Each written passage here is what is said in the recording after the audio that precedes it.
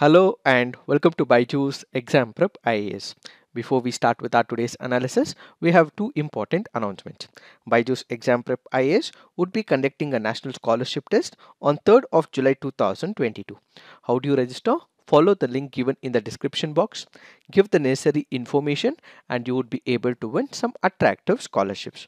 The next announcement is in reference to the weekly current affairs explain session. As part of the explain session, our tomorrow's discussion would be Maharashtra's political crisis and anti-defection law what is the anti-defection law what is the floor test what is to do with the anti-defection laws concerns everything will be explained in our tomorrow's session and this session will be handled by Sir Sir. So please do tune in on our YouTube channel live from 8 pm to 9 pm tomorrow. Let's get started and look into the first article. The first article says solving problems through the Internet of Things. The article here is speaking about applications of Internet of Things and the challenges associated with it and what is the way forward to ensure that there is minimal security threat to these applications. First up, what is this Internet of Things? As the very name denotes, you have two words. One is Internet, the other is Things. So Internet is the platform where you have multiple interrelated computing device. It can be mechanical and digital machines. It can be objects as well. It can be animals or people. Each of them are given a unique identifier and they start transferring data amongst each other making use of the internet. So you have multiple devices, multiple objects, multiple things. These are connected on internet as a platform. This is what is called as internet of things. So internet is acting as a platform. To this internet, what you have is multiple devices that are connected. And from this device, what you're sending is data and this data will be stored on the server and ultimately what you will have is interactions creating what is called as exchange of data. So any devices that can be connected will be connected. Any devices that can be switched on and off will be connected and most of the connected device will have an internet protocol address with IPv6 billions of devices can be connected with ease. Let's take some of the examples. Let's say you are a working personnel.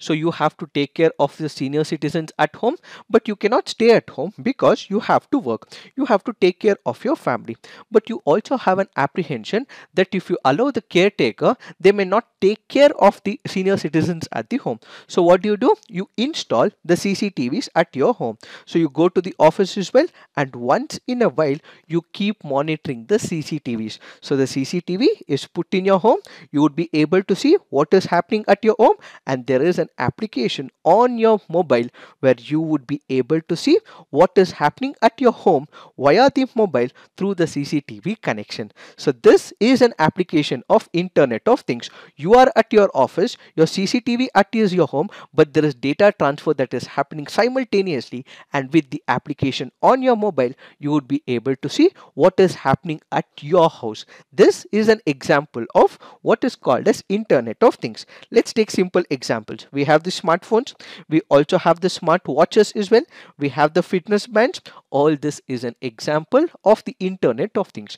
If we look at the larger level, if we are constructing a smart city or a smart village or you have everything that is connected to the internet or if you're speaking about the cars as well even they have something called as the technological advancement which is built on this very platform of what is called as internet of things. If we are able to take simplest of things let's say for example you have a light bulb. This light bulb can also be switched on using a smartphone. It means that you are using internet of things. If you're taking a bigger one let's say you have the smart cities where you are filling this entire region with sensors you will be able to control these sensors in that environment. That is internet of things. So any natural or man-made object that can be assigned an internet protocol and there is exchange of data over the network is what is called as internet of things. So different networks would be connected to each other like body area network, which is wearables, local area network, smart homes, wide area network, connected cars, and very wide area network, which is nothing but smart city. Now the question is, how does this Internet of Things work? When we speak about Internet of Things, let me give you an example. A thing in the Internet of Things can be a person where there is a heart monitor implant that is placed on that person. It can be a farm animal as well with a biochip transponder or it can also be an automobile which has some inbuilt sensors to alert the driver when the tire pressure is low. All of this is Internet of Things. So how does it work? In Internet of Things, what we have is an ecosystem that we have developed. In this ecosystem, what we will have is the web-enabled smart device. So this web-enabled smart device can be a smartphone. It can also be computer as well. So this will be embedded into the system. Then you will also have advanced processors sensors communication hardware which will be able to collect the data send and act and receive the data in that particular device. So basically in the iot devices what you will have is a sensor that will collect all the information and this information is collected from the iot devices and the data is sent via the router or the gateway. It will reach reach the internet network, this will also have a data storage and ultimately you would be able to remote control many of the things that are placed in the internet of things. So the devices communicate with each other, they act and play the information bits between each other and the devices need not have to have any human intervention. Let's say for example, you have your smartwatch. So the smartwatch that you tie on your hand need not have any human intervention. That is the watch watch will work on its own. The number of steps that you walk, it will be able to showcase it. All that you require is a smartphone and you also require is a smartwatch. So there is minimal intervention, but it is able to store as well. So this is the ecosystem that is created. So you would have internet as a platform.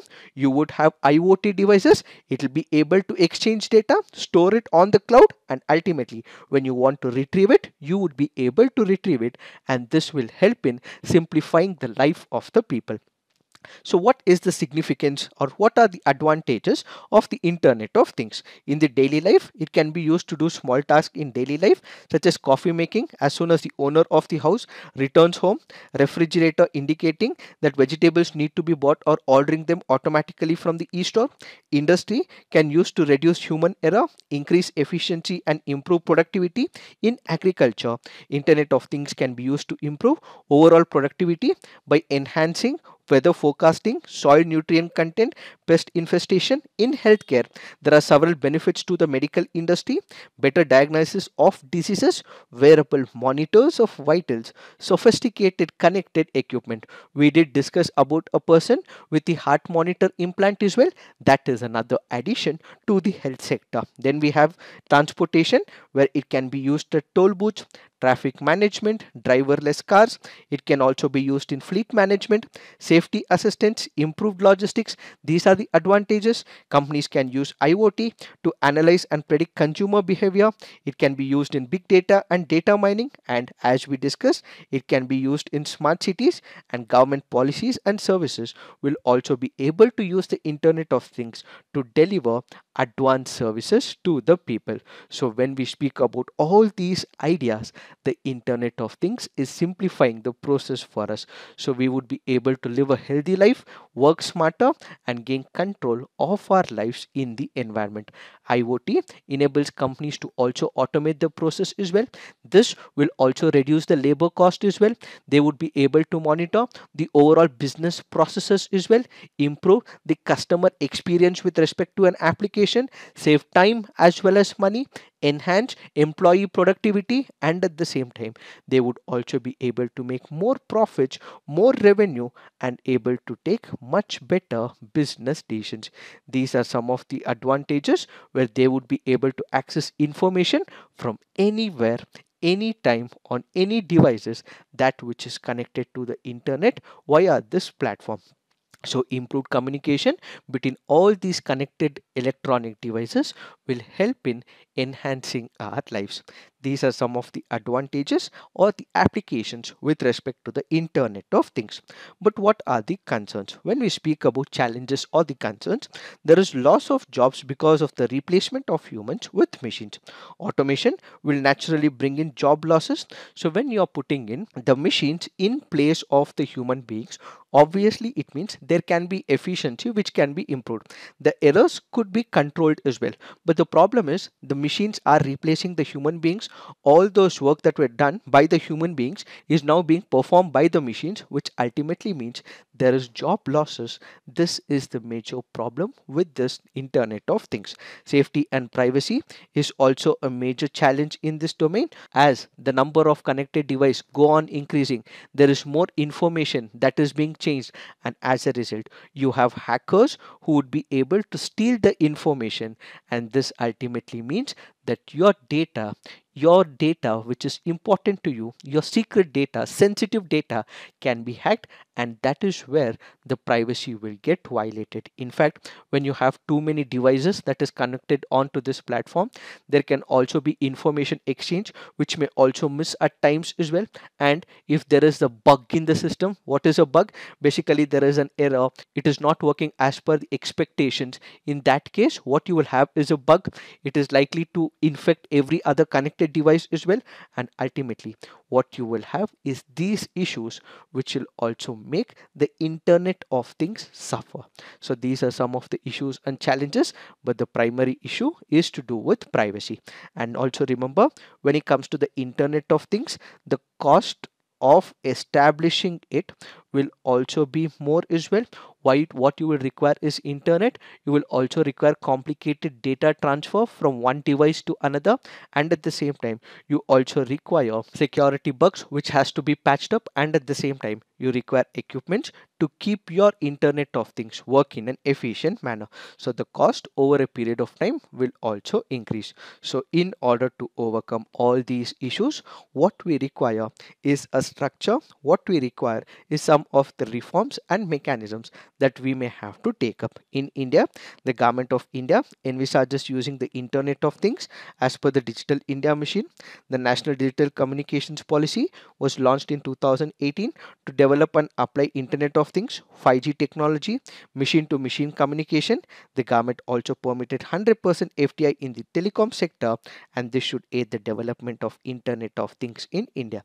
So going forward if internet of things has to be successful which it is taking a turn towards what we have to ensure is security for all these apparatus. So what are the measures that we may have to take? One is no universal default passwords. Let's say for example you have your smartphones. Let's say for example you have other devices that is connected to the internet each of which may have its own password. Let's say the password is 1234 or it can be 111111 these are the default passwords that are set to these devices let's assume so. So the minute you get these devices you have to immediately change it. So the all iot default passwords should be changed immediately as soon as possible and the passwords must not be resettable to any universal default value. So whatever passwords that comes with the default device you have to change it immediately. You have to change it in such a way that you follow some of the best standard practices. That's the first one.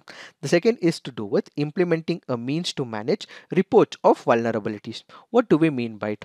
We have number of vulnerabilities. Let's say for example there is an issue with whatsapp or there is an issue with the software that you are using. So there is another device that you have. It is not working. It is hanging every now and then. So it means that there is a vulnerability or there is an intrusion of the virus or something like that. So the minute you realize that there is a problem with that particular device or with the software that is built on this internet of things as a platform all these will have to go on a central repository. All of this information will have to go to a central database. So whenever a device is built if there is an issue the operating system should constantly keep checking for it. And if it finds out that there is a bug there is a problem it should immediately send a message to the central database or the central depository so that eventually they are able to address this bug and introduce a security patch. So what we require is a means to manage reports reports of the vulnerabilities. So in case there is a vulnerability, report the same to the central database. The central database is able to actualize it and able to implement all the security patch-ups to this particular issue.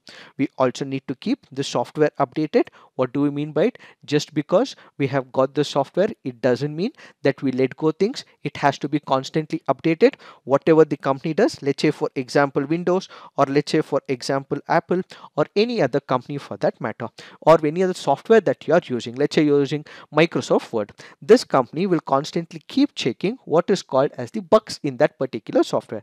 The minute they see there is a security threat, they immediately release security patches in the updated version. So making sure that you also keep your software updated is what you have to do to keep your Internet of Things and its devices safe and secure. Securely store sensitive security parameters. Let's say for example you have some sensitive information. This sensitive information has to be stored in a proper manner. It can be the credentials, it can be the certificates, it can be key identity of an individual. So such information should be unique per device and should be implemented in such a manner that it is tamper proof. Then we have to minimize exposed attack surfaces. What do we mean by it? In case we are making use of a hardware and we are not using its functionality, this hardware should be disabled. Hardware should not unnecessarily expose access. So required ports, both network as well as logical, should be closed if we are not using it. Making it easy for users to delete user data and at the same time devices and services should also have the mechanism such that if people have any personal data if they wish to remove from the software or from the device they should ultimately have the ownership to delete it whenever they wish to and they wish to dispose of from this particular device. So all this needs to be followed if the security of internet of things is taken into picture. It is this that we have to understand with respect to this article. Now let's look into the next article this article says a direct approach to conservation. The article here is speaking about payments for ecosystem services.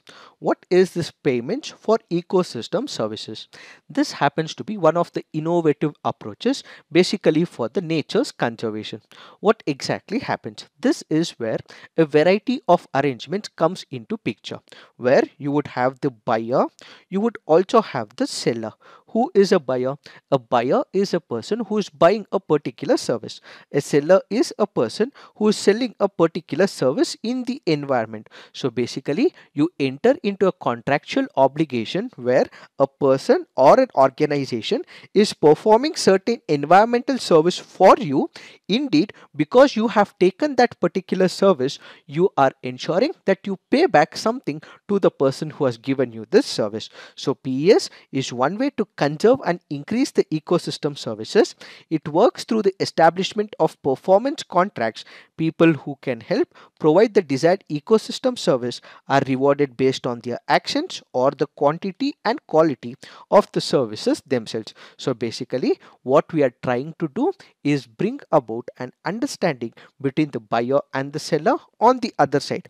We are also incentivizing those sellers introducing behavioral changes so that this can be considered as the broader class of incentive that we are giving to the seller so that they would continue to provide this environmental service to the people in that particular region. So basically what is happening? Let's say for example, there is a park.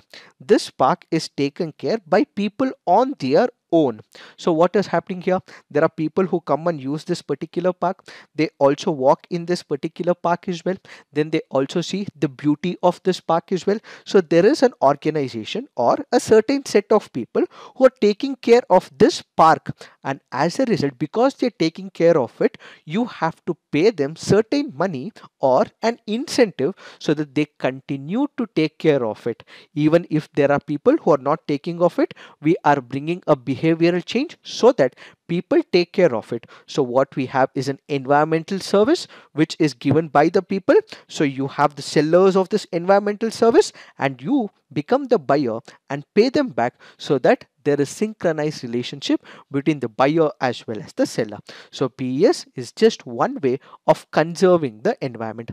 Let me give you more examples. Let's say for example, there is a lake and this lake should be prevented from any pollutants. So if there is a party who is taking care of this lake which is used for let's say farming or it is used for drinking purposes so there is an organization which is taking care of the lake or this lake can also be used for flood mitigation as well so there is an organization or there are few individuals who are taking care of this lake so making sure that when they are taking care of this lake as a service we are providing some money to them or the government institutes an institute to monitor this so that these people continue to take care of the lake at the cost of some fee is what is called as payment for ecosystem services so there are certain people there are some organizations they're taking care of the environment as well as the ecosystem because they're taking care of the environment you are paying them some money which is called as the payments for ecosystem services.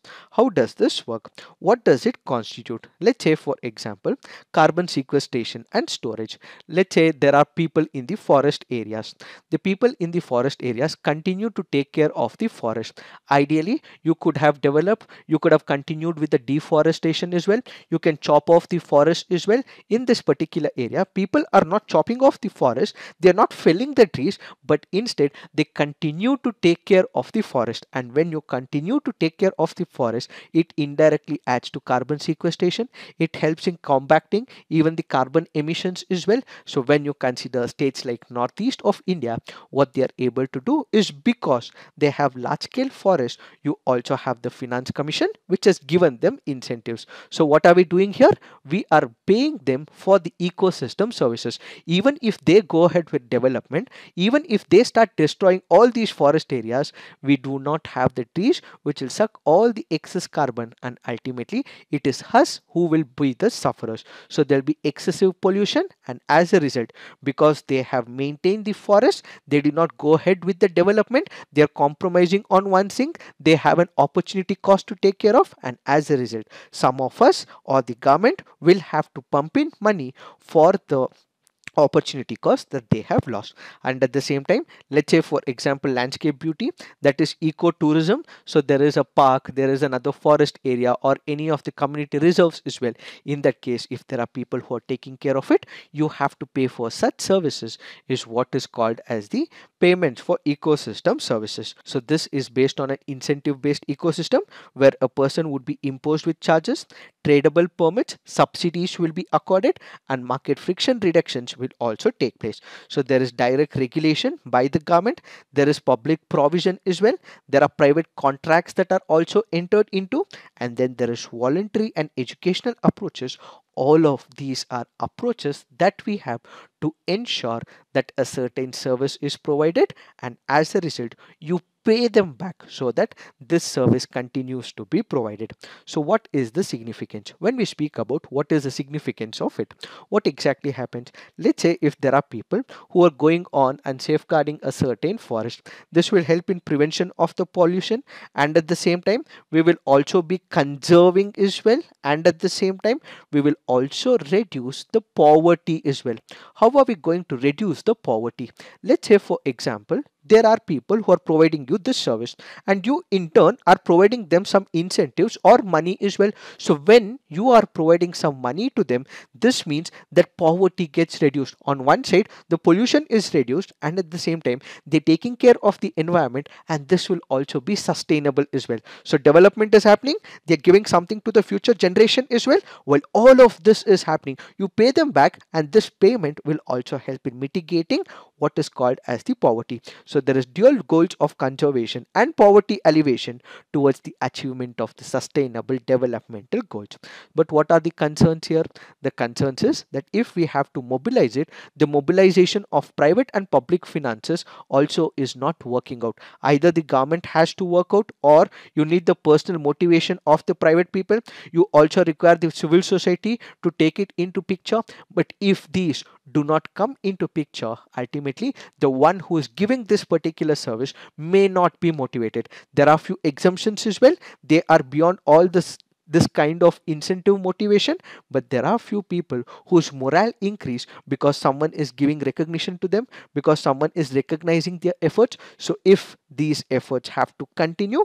The government has to pitch in, the private has to pitch in, the civil society has to pitch in. So as of now, these people are not showing that much of support is the first major challenge. The second major challenge is in terms of the research.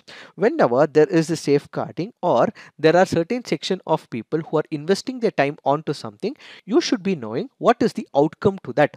What is it helping out? All this has to be categorized. So this will further require academic research, governmental support, political will so that this is taken into picture to understand the future outcomes. These are some of the concerns and the challenges. But if you look into how this implementation has worked across the global level in the Western Cape, South Africa, the Cape Nature Stewardship Program protects the biodiversity on the private land.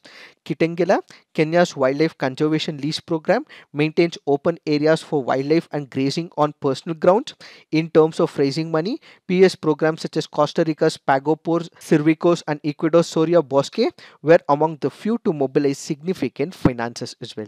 So in the Indian subcontinent, this has not taken much of advantage. But when it comes to the global community, they have been investing a lot of time and energy and finances as well to ensure that this is taken into picture.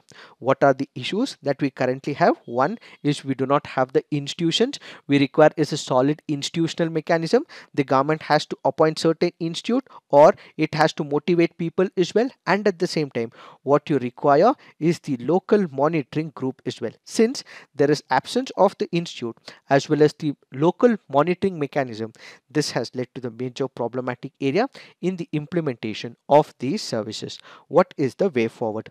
Impact evaluation studies that evaluate financial instruments performance in attaining biodiversity are important. So we need to make sure that studies are conducted researches are conducted. So in case a particular service service is being provided how will it impact the society? Such should be taken up. The oecd biodiversity Finance and the Economic Business Case for Action highlighted the importance of evaluating financial instruments performance in attaining biodiversity goal. According to recent OECD research, few thorough impact evaluation studies have been done for terrestrial biodiversity and fewer for ocean maritime biodiversity. The OECD advocates comprehensive impact evaluation and the formulation of strategic criteria to help determine which policies or initiatives warrant more scrutiny. Additionally, a strong policy thrust such as TEEB India initiative highlighting the economic consequences of the loss of biological diversity would help prioritize ecosystem restoration financing through a direct approach. What do we mean by it? If let's say for example, there is a forest in a particular locality. The forest is indirectly helping in cutting down on the carbon emissions because it is sucking the carbon. But if this forest is removed, what will be the economic consequences, environmental consequences, health consequences? If forest is removed, pollution can increase. If pollution increase, people also start inhaling polluted gas. If they start inhaling polluted gas, their health gets impacted. So indirectly, they are also contributing to their own misery and this also means they have to shell out more money as well as a result everything is interlinked. So whenever there is a problem to do with the environment it is acting indirectly on other areas as well. So you have to conduct that study says TEEB initiative. So this particular initiative focused on three important ecosystems. One is the forest inland wetlands as well as coastal and maritime ecosystem. A global initiative such as United Nations Environment Program finance initiative to mobilize private sector finance to benefit people people and the environment would help maintain the funds. So more money has to be infused to understand how this entire processes work. So basically there are a number of options to what constitutes this payment for ecosystem services but what we have to identify is how each of these different parameters work differently and we have to select them according to our own impact basis. So this article currently goes on to say that we have to collect strong scientific data and only after that is collected that is when this kind of payment services can be enabled. It is this that we have to understand with respect to this article. Now let's look into the next article. This article says speeding major cause of death says the Lancet study there was a study conducted by Lancet. According to it, if steps are taken to check vehicle speeds on roads in India, this could alone have the biggest impact on ensuring road safety by saving as many as 20,554 lives. When we consider this study, this study basically goes on to say that people are dying every day on the road accidents. What are the four areas or four issues when it comes to the road accidents? One is drunk driving. Second is people are not using the helmets. Third is to do with speeding. And fourth, in spite of repeatedly saying that please use the seat belts, people are not using it. And because they are not using it, this has also raised couple of concerns. And when they don't use it, when there is accidents that take place in some cases this is also leading to loss of lives as well. So when it comes to road accidents these are the major areas according to the lancet study that drunken driving helmet use, speeding and seat belt use have become the major impediments. And if we are able to address all these concerns we would be able to prevent the loss of lives. In India, interventions to check speeding could save as many as 20,554 lives and promotion of crash helmets could save about 5,683 lives and if we look into statistics at the global level, steps undertaken to reduce speeding such as infrastructure changes and electronic speed control could save as many as 3,47,258 lives globally each year, while measures to tackle drunk driving such as enhanced enforcement could also save 16,304 lives and estimated 1,21,083 and 15,698 lives could be saved by enforcing rules on wearing seat belts and motorcycle helmets. Further, the article also notes road traffic injuries are eighth leading cause of death globally for all ages and the first cause in the 5 to 29 years age group. Close to 14 lakh people die each year and up to 5 crore are injured by road traffic injuries. India accounts for almost 10% of all crash related deaths while accounting for only 1% of the world vehicles. This is the pathetic situation in India that if we do not follow the traffic rules, if we do not have the right enforcement, this could lead to more casualties in the near future. What is the way forward? Any vision for addressing road traffic injuries will also have to take into picture planet Earth's changing climate. So we have to take into picture the climate of planet Earth. Why? That is because if more vehicles are on the road, what will it have? It will have pollution impact to the people. And when there is more pollution in the market, this could result in health related issues.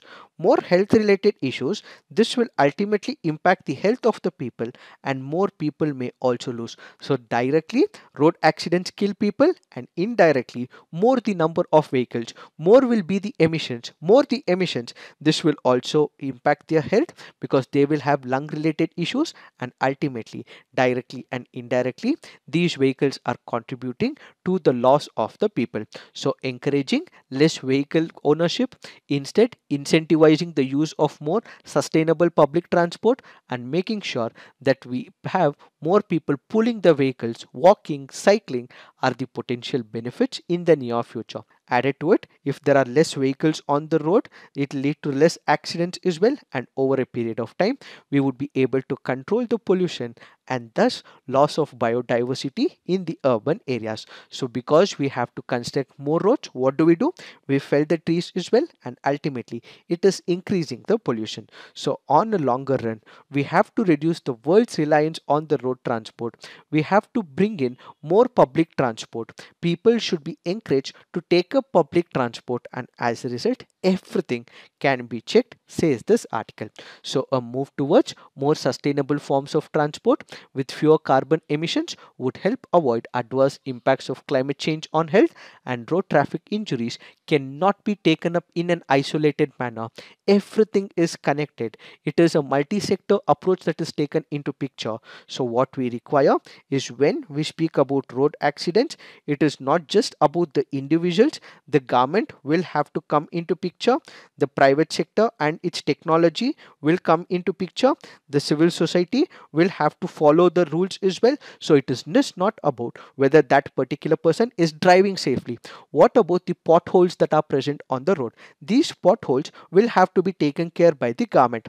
If the government takes care, but if a person is not driving in a safe manner, this will also lead to road accidents. So this is a not an isolation approach, but instead what you require is an integrated approach where all these communities come together and ultimately fight the menace of road accidents is what is this article all about.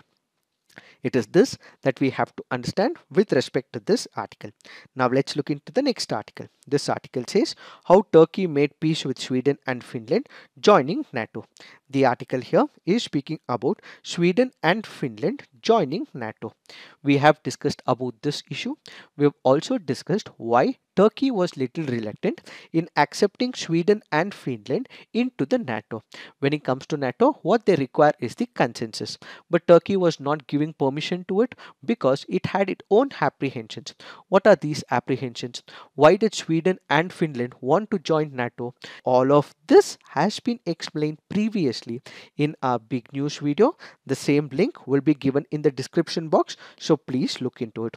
What are we going to discuss under this article? Under this article, we will try and understand what is the advantage for NATO right now. We will also try and understand what is the memorandum signed between Sweden, Finland as well as Turkey. When it comes to Turkey, Turkey was not happy because historically when it comes to Sweden and Finland's idea, they believe in rule of law. They also believe in democracy as well. When it comes to Turkey, there are some extremist organizations according to Turkey. These extremist organizations are protected in Sweden. So Turkey says that these are the people who are fighting against Turkey, but these are the people who are protected in Sweden and Finland because they are against Turkey, but they are protected by Sweden and Finland. We cannot accept them into NATO. But now Sweden and Finland now go on to say that in case we have any of these people who are going against Turkey in our countries, we will extradite them to Turkey and we will ensure such people are not present in Sweden as well as Finland.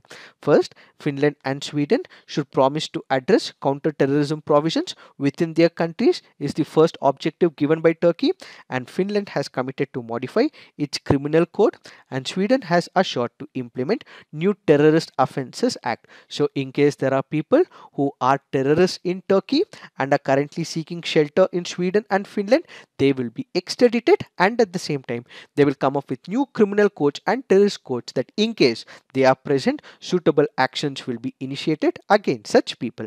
Second turkey has raised concerns about finland and sweden being home to kurdish activists and militant organizations. Therefore finland and sweden have now agreed to execute pending deportations extraditions from these countries to turkey Third, it will help in lifting the arms embargo as well. So these were the conditions laid by Turkey and Sweden and Finland have now accepted all these conditions. Earlier, they had not accepted before joining NATO. Now they have accepted. Why? That is because they sense that Russia's aggression needs to be controlled and in case Russia becomes so aggressive that it will be a problematic for these countries. These are small countries. They have very small army. They would not be able to withstand the pressure of Russia. So if they have to withstand the pressure of this aggressive Russia, they require the support of NATO NATO for them right now. Their own security is important. Other countries' people's security may not be important. So they will expedite these so-called terrorists, according to Turkey, from Sweden and Finland back to Turkey so that their borders are secured, which is why they have signed this memorandum. What is the advantage for NATO? The minute Sweden and Finland are now into NATO, this is going to be promising for NATO. How? First, it will strengthen the alliance. We will have more countries into NATO. We have Finland and Sweden, which earlier had non aligned principles. They did not want to join NATO. They did not want to support even Russia as well. They were completely non aligned. Now, because they are joining NATO, more countries are into this forum. This ultimately means more strength to the NATO. This will strengthen the alliance. Second, NATO will gain strategic ground to counter Russia. What is happening right now? When you look at Russia, it has its border. But what is happening? There are more countries in the eastern border. So United States of America and NATO would be able to place more missiles along the border areas as well. Third, they would also be able to secure Euro-Atlantic region as well. Earlier, it was the land countries which they were able to take care of. Now, they would also safeguard the Baltic states states like Estonia, Latvia, and Lithuania, these countries were earlier at the risk of Russia as well. Now, because you have the NATO forces, they would be able to take care of this entire region. So, weapons such as fifth generation aircraft, technological weapon systems, strong political institutions across all the allied countries will help the prevention of aggression of Russia into this area. It is this that we have to understand with respect to this article. Now let's look into the next article. This article says the Indian challenge in Afghanistan. This article has been explained in the last one week as well. We did discuss about the Gurudwara attack that happened in Afghanistan. What are India's interests in Afghanistan? And we did discuss in our last week CNA as well that we have officials from India who also spoke to Taliban why did India speak to Taliban? What are the challenges in Afghanistan? What are India's security interests? All this has been explained in the last week's CNA. So you don't have to go through this article. All that you have to do is watch the Big News Initiative video on Gurudwara as well as India's officials visit to Afghanistan and their interaction with Taliban. If you understand that, you don't have to go through this article. Now let's look into the mains practice questions. What do you understand by Internet of Things? Discuss its various applications and ways to safeguard applications from potential risk. Discuss the benefits of payments for ecosystem services.